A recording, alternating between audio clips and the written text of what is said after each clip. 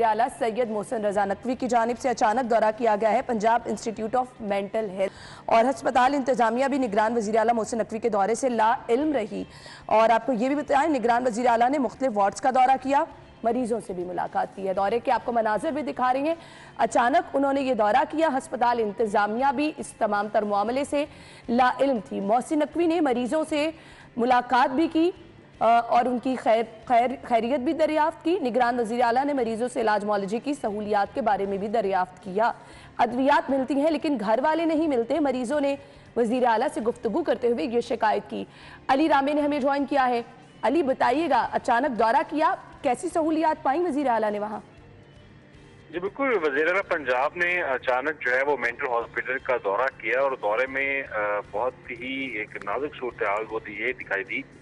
कि जब वज़ीर पंजाब ने मरीजों से सेहतियाबी के लिए उनसे गुफ्तु की तो मरीजों की तरफ़ से कुछ शिकायत जो है वो उनकी फैमिलीज़ के बारे में की गई।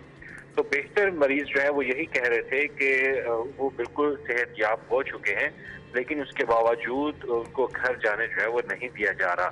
और कुछ मरीजों ने तो ये तक भी कहा कि वो मुकम्मल तौर पर सेहत याब तो हैं, लेकिन उनके घर वाले उनसे बात नहीं करते और उनको लेके नहीं जाते।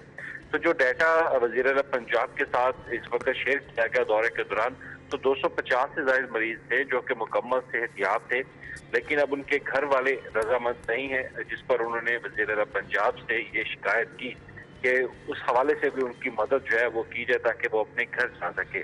तो वज़ीर पंजाब ने यकीन दहानी कराई तो इस मामले पर ज़रूर, जो लड़का मेडिकल टीम है, उनके साथ रबता करके उनकी मुकम्मल सेहतियाबी के मुतलिक रिपोर्ट हासिल करने के बाद फैमिली से जो है वो रबता करेगी हुकूमत, ताकि वो फौरी तौर पर इन मरीजों को अपने घर में जो है वो ले जाने के लिए वो कोशिश करें। तो सेहत की जो सहूलियात के हवाले से वजी पंजाब ने वाज हदायत भी दी कि तमाम तर अद्वियात और जो भी सहूलियात हैं वो मरीजों को वहाँ पर दस्तियाब होनी चाहिए।